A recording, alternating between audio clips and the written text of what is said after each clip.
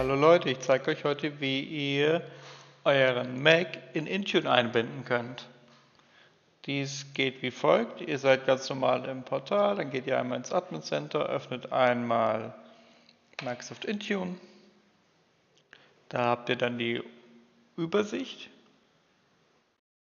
Aber um es komplett anzubinden, müsst ihr dann einmal diesen äh, Link öffnen, Enroll your macOS device using the portal. Das heißt, ihr müsst einmal Enroll my Mac gehen, dann lädt er einmal eine Datei runter, die müssen wir einmal ausführen, fortfahren. Unter iOS gibt es diese App auch, kennt man eher, weil unter iOS steuert man dann äh, die Apps oder ähnliches. Das gleiche läuft dann auch bei äh, macOS. Dann einmal abgeschlossen, können wir gerne behalten. Jetzt kommt das gleiche wieder, dadurch, dass das auch eine Microsoft-App ist, wird die über Microsoft Auto Update aktualisiert. Aber in unserem Fall will er nur die Defender aktualisieren, was wir jetzt auch gleich einmal anstößen können. Dann gehen wir aber jetzt einmal kurz in das Portal, das heißt, wir öffnen jetzt das Company Unternehmensportal. Jetzt müssen wir uns einmal anmelden, das würde ich einmal kurz überspringen. So, die Anmeldung ist erfolgt und jetzt möchten wir einmal das System anbinden. Wir gehen einmal auf Beginn. Dann wird euch angezeigt, was äh, die Organisation darf und was sie nicht darf. Dann müssen wir einmal ein Verwaltungsprofil herunterladen.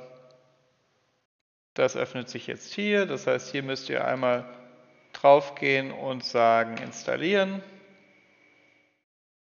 Einmal euer Admin-Kennwort eingeben. Wenn erledigt, sollte die Warnung weggehen. Genau. Und dann springen wir hier einmal zurück.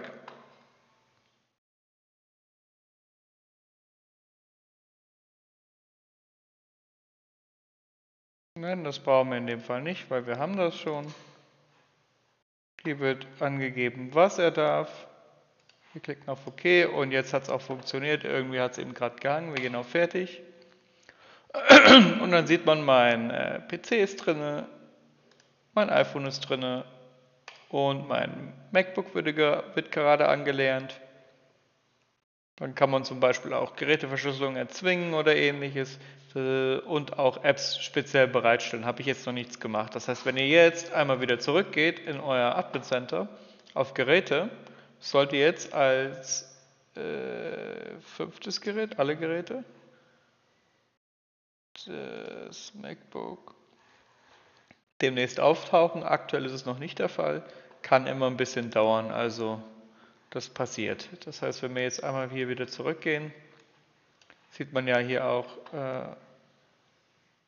genau, dass es angelernt wurde. Und manchmal dauert es ein bisschen, bis es auftaucht. In dem Fall ist es jetzt noch nicht aufgetaucht. Ja, im Normalfall würde es dann hier auftauchen. Und ihr könnt dann bestimmte Regeln erstellen. Da habe ich jetzt noch nichts gemacht. Ähm, das war es in dem Fall gewesen für die Anbindung von einem macOS-Gerät an Intunes. Bei Fragen unten in die Kommentare, einen Daumen hoch bin ich auch freund. Dankeschön.